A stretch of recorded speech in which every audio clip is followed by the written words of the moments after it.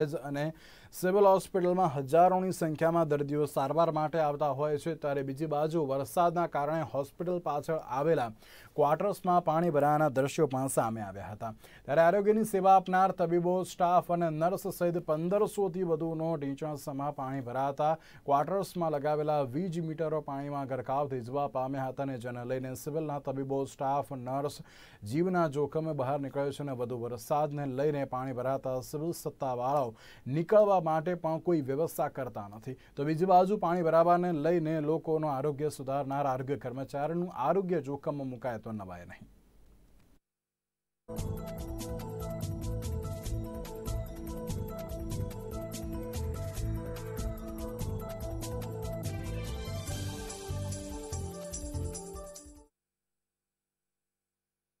સાબરકાંઠા જિલ્લામાં ગત રાત્રેથી વરસાદની શરૂઆત થઈ છે. ખાસ કરીને જો વાત કરીએ તો હિંમતનગર શહેરમાં એક ઇંચ જેટલો વરસાદ નોંધાયો છે.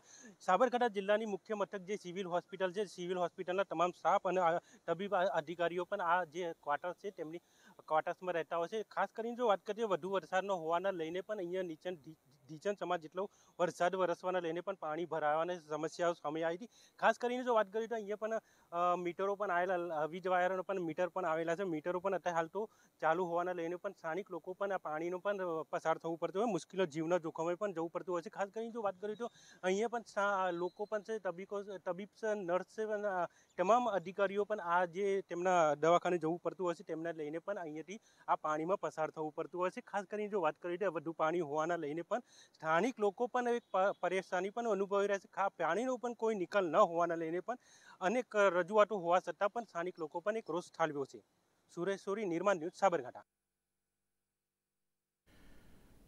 રાજકોટ ખાતે કોંગ્રેસના નવનિયુક્ત કાર્યકારી પ્રમુખ લલિત કખતરા અને ઋત્વિજ મકવાણાએ પત્રકાર પરિષદને